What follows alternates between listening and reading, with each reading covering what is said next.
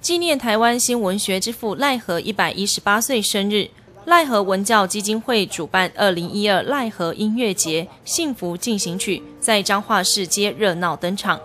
我们希望我们能够持续举办，来集结所有在地的文学的、音乐的、文化的团体呢，在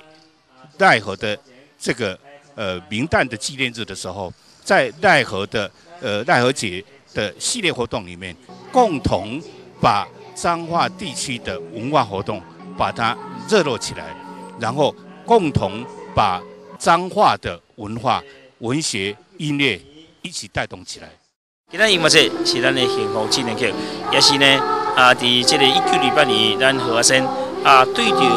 啊这个诗书的这个批判，伊咧讲讲这个啊社会这个进步，其实甲人民的幸福是两件代志。我想伫先觉先知，伊用这个观念之下，咱今日办的这个活动，同时也提醒到咱所有执政者，对恁这个土地甲人民爱疼惜，而且后代会当了解咱华生对台湾、对中华的这个贡献甲精神，会当追求的公平正义，互咱社会中华更加进步。谢谢。我们为了配合这个音乐会啊，也特别这个由我们学校的合唱团。啊，这个演唱了两首歌曲来分享大家。我希望说借这个机会，让唤醒年轻的一代，还有我们彰化县的县民啊，能够这个在关心啊这个奈何，能够唤起大家啊这个能够发扬奈的一些精神，一起来疼惜我们这一块土地，一起来发扬这个台湾文学。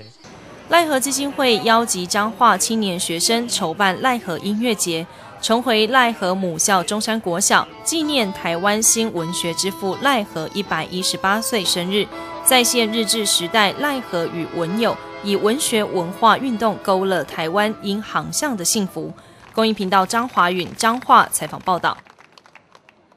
那么我们平常在